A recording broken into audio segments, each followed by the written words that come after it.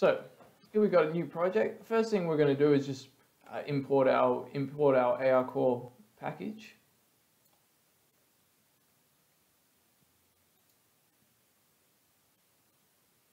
Out of interest, the Hello AR core demo actually does does um, attach all those little Andys to an anchor. Each one is actually a new anchor with an Andy object as a child of that.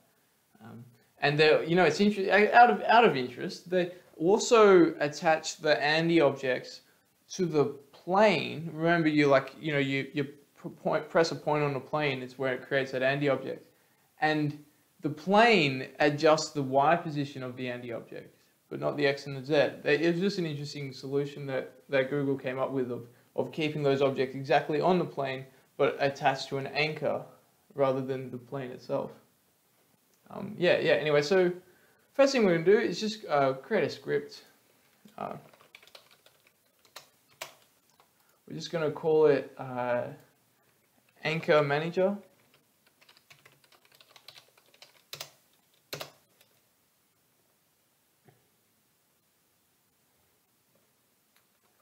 Right, and in this script we're going to be using AR core. So we just go using Google AR core. And let's see, we're not going to need we're not going to need the start function. What we're going to do, what we're going to do is we're going to create two objects. Uh, whenever you hit the screen, we'll create two objects. One of them will be attached to an anchor, the other will be free roaming. And we'll see if we can get like a, yeah, how they move around. And we're also going to get we're also going to get, uh, we're going to print out, we're going to get a, get a log whenever, um, whenever the position of the anchor changes in global coordinates. And we'll get how, how much it's changing by as well. So we'll just do a public game object. We'll call it uh, anchored prefab. And we're also going to make a, an unanchored prefab.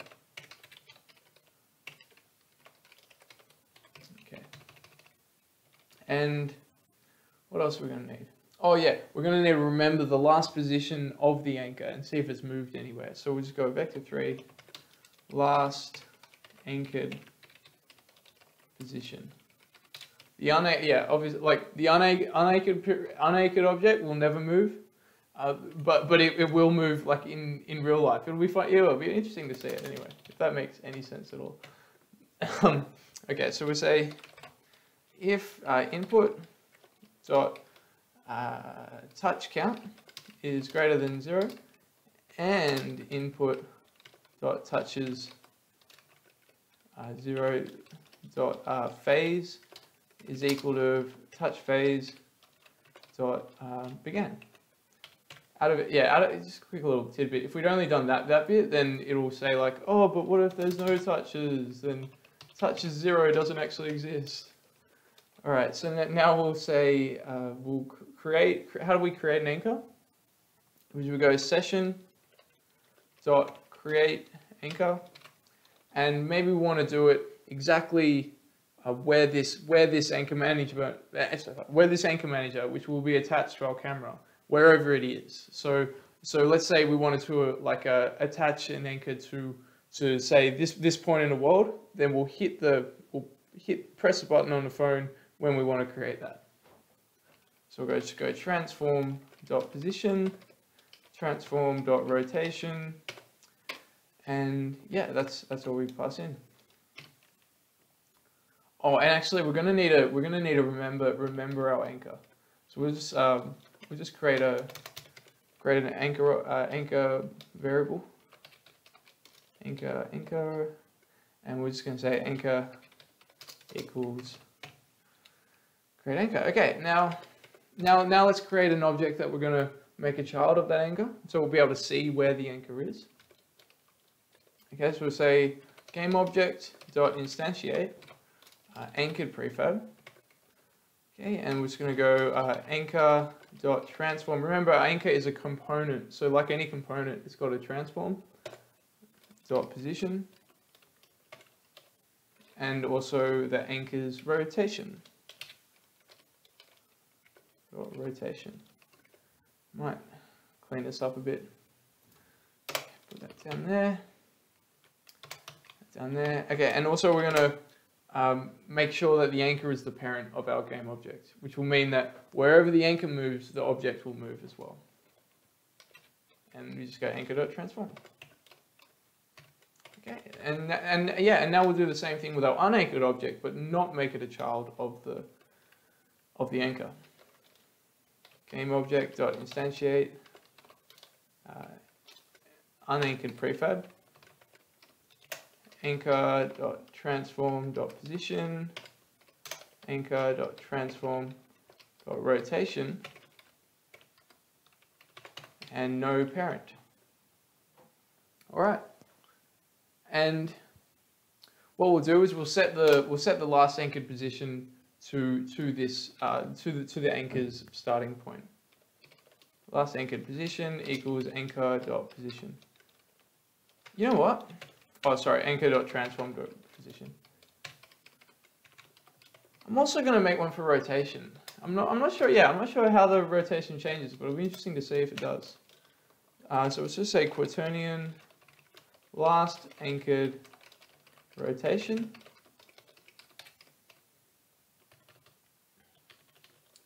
And last anchored rotation equals anchor dot transform dot rotation. All right. Yeah, that's looking good. Now for the next bit, we're just going to be doing comparisons and, and, and seeing how it's moving. So so remember this is being called every update. So if if the anchor is isn't there, then we'll just get out of the get out of the loop. So we'll say if anchor uh, is equal to null, then we'll return. Otherwise, otherwise what we're going to do is we'll say uh, if the if the anchor's next position is not equal to the to the last anchored position, then it's changed, and let's print out how, what that distance was. So we can say if uh, anchor dot transform dot position is not equal to last anchored position, then we're gonna we're gonna want to log log uh, the log distance. Dot distance anchor dot transform dot position and last last anchored position. And then and then and then update update the last anchored position. Equals anchor dot transform dot position Right, and now we're going to very quickly do the same for the rotation. Anchor dot transform. Feel free to skip ahead if this is not, not of interest. I suppose the really interesting part will be the testing of it. Rotation is not equal to last anchored rotation. Debug.log um, we're going to say the quaternion dot uh, angle, the angle between two quaternions. So quaternion dot angle, um, anchor dot transform dot rotation, and last anchored rotation. And then we're just going to update.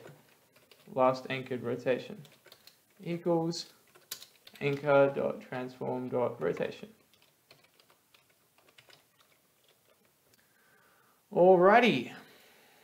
Now I believe that's everything. I feel like there might be something I'm forgetting. Um, no, no, no. That, that, looks that looks that looks good. We'll, we'll we'll give it a go anyway. Okay. So let's create those. Let's create those prefabs. It's going to create a cube. The only thing I'll do is I'll change their colors, make one green and one red, so that we can really see the difference. Okay, we'll make it a little bit smaller, maybe 0.05, that's 5 centimeters. 0.05 by 0.05. Okay, and we're going to call this the anchored prefab. Oopsie daisy, it's prefab. and, and let's create a material as well. Materials.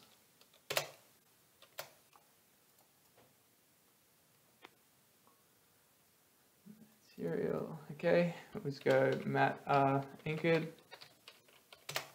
And we'll make the anchored one green. Oops. All right. Um, while we're here, we'll make an unanchored one as well. I'll just call it matte unanchored. And we'll make this one not red. Let's let's make it let's make it blue. Oh oh no, I better make it red. Red will show that it's like oh doing the the unapproved way of coordinate systems. All right, and now let's just make the unanchored prefab. I'll zoom in a bit. Okay, D. Let's call that the unanchored prefab.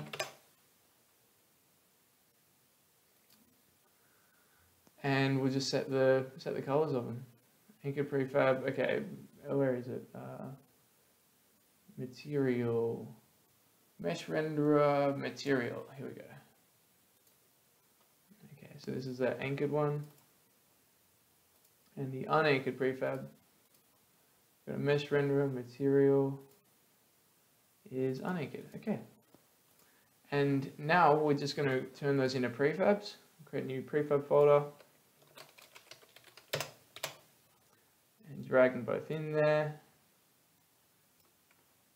Delete them from the scene. Oh, and we're going to uh, import that uh, the AR Core device camera just from Google AR Core uh, prefab. Oops. Uh, prefabs AR Core device. We're going to attach our script, our anchor manager, and we're just going to put in those anchored and unanchored prefab. Okay and we'll go anchored, put that one in there, unanchored, put that one in there. And now we just got to now we just got to set up the scene for um, one for AR core, and the other thing is we've got to set it up for um, we're just going to make make sure that we're getting log uh, log messages back to the computer. So we go build settings, uh, switch platform to Android. Okay, we're going to put on, this is to make it, make it log back to the computer. We're going to put on development build and also script debugging as well.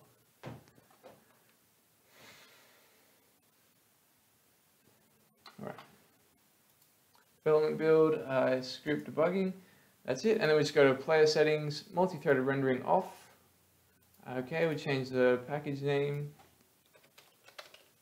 and put on the minimum API level to 7. Enable XR settings, AR core supported, yes. And that is absolutely everything. Let's give it a whirl.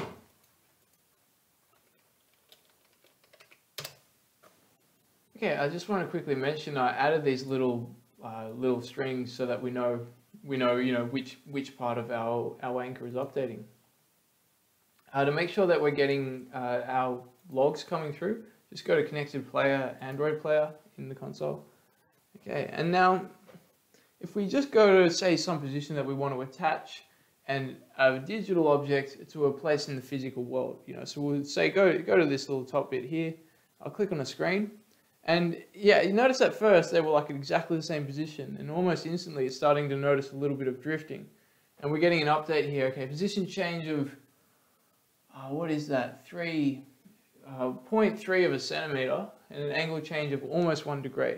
It's not, it's not very much at, at first, but maybe if we like, let's see if I, if I move the camera around and then say maybe come back, maybe we'll see uh, more of a jump.